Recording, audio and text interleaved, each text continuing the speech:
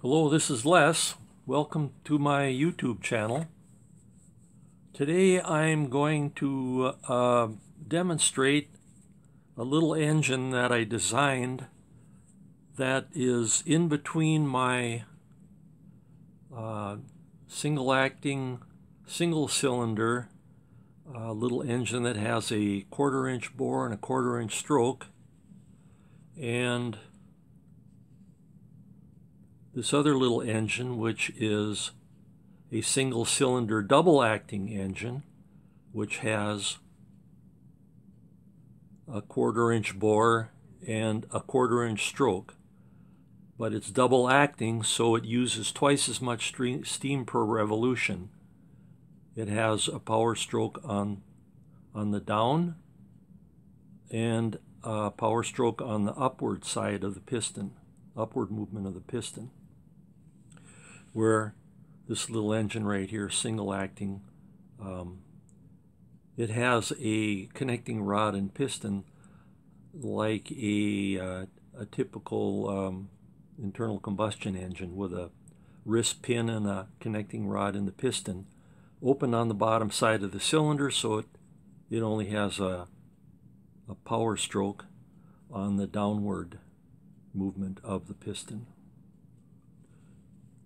This little engine that I designed and built more recently is, I say it's in between these two because it is a double acting engine in other words, power stroke on the downward movement of the piston and on the upward movement of the piston. But it's uh, it has a quarter inch bore and only a 3 8 inch stroke.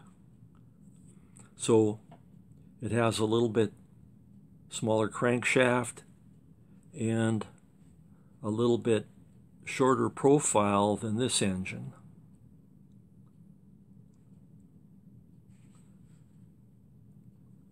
And as you can see, I also made it a poster style engine, so it has the four posts and uh, kind of more of a match of the little uh, single cylinder, single acting engine.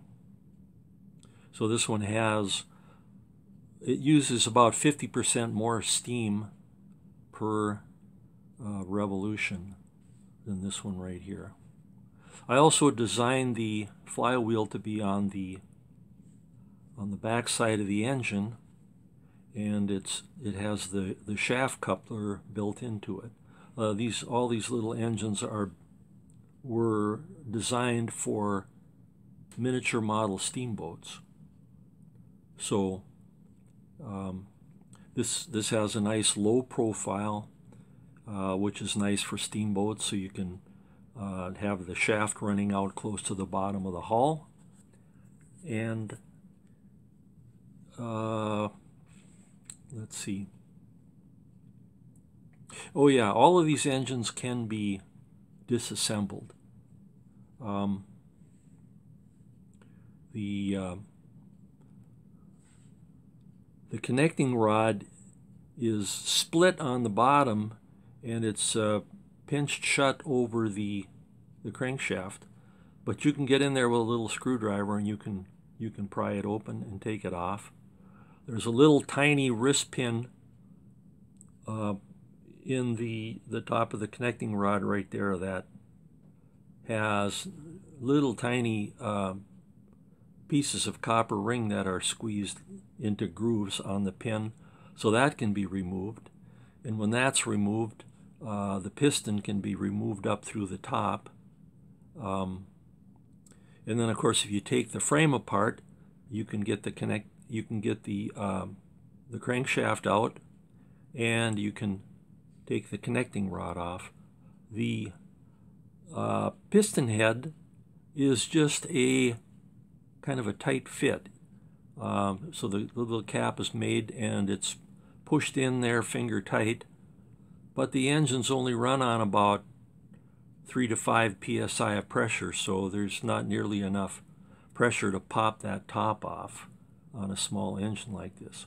So yeah, so the whole thing can be disassembled and cleaned if need be. So, anyway,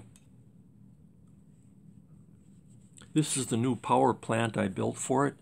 It has a different boiler on it, a horizontal internally fired boiler.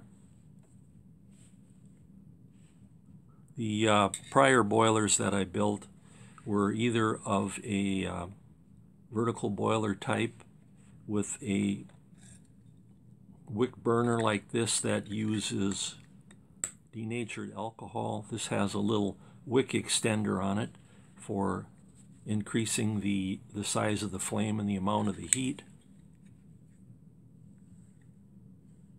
And then this was another style boiler I built. Actually, there's a few more different styles that I have in my steamboat book. Um, but this is a horizontal boiler and it uses uh, sternal, sternal.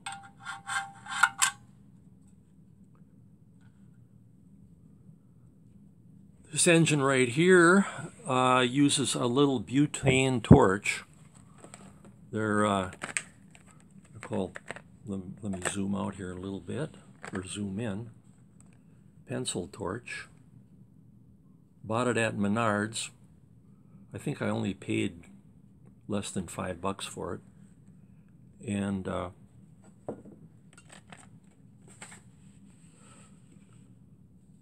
so the burner is from the pencil torch and also the, the little valve on the top, the little fill valve. This piece right here is nothing more than a half inch copper uh, elbow or a copper T, copper water pipe T. Uh, I say it's an internally fired boiler. The stack comes off like that and inside this little brass tank uh, is soldered in um, this piece right here which takes the steam off from the top side of the boiler to minimize moisture and that piece of copper goes through that internally fired flue and then it comes out the top and then as you can see it hooks around and goes directly into the engine. And then the, the stack is just notched to fit inside that like that.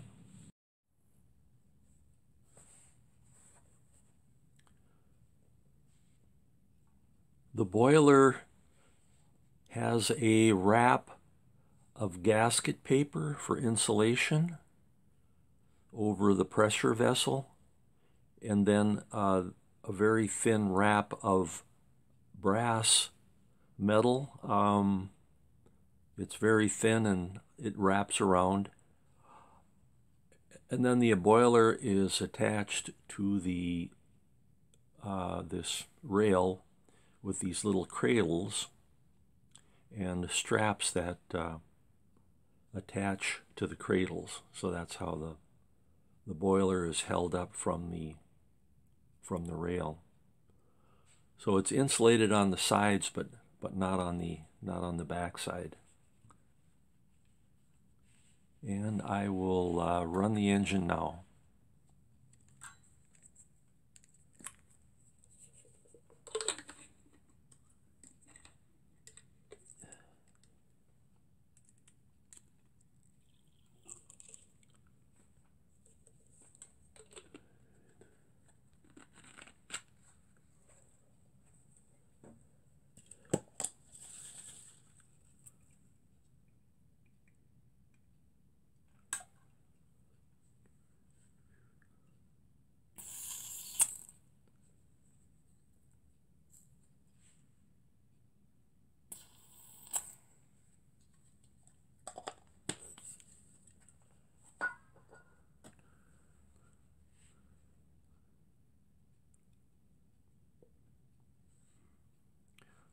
This is the the cap for the the fill pipe and also the safety valve, the pressure release.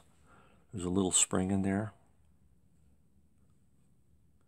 And I set it with a bicycle tire pump for about uh, 10 psi.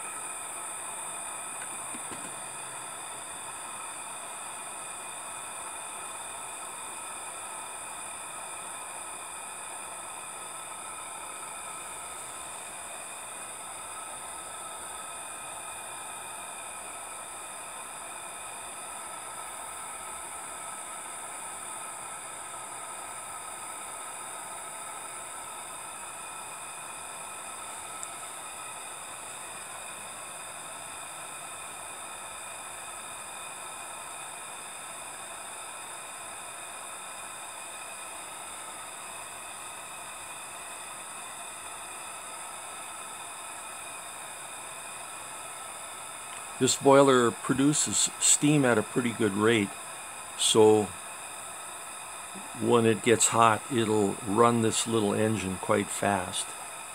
Of course, when it's under a load, it doesn't run nearly as fast as when it's uh, running uh, without a load.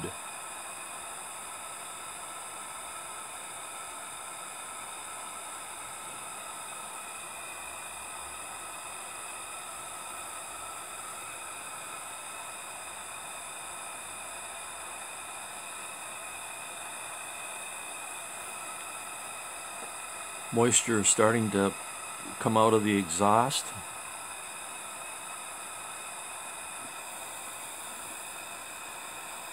So the engine is warming up.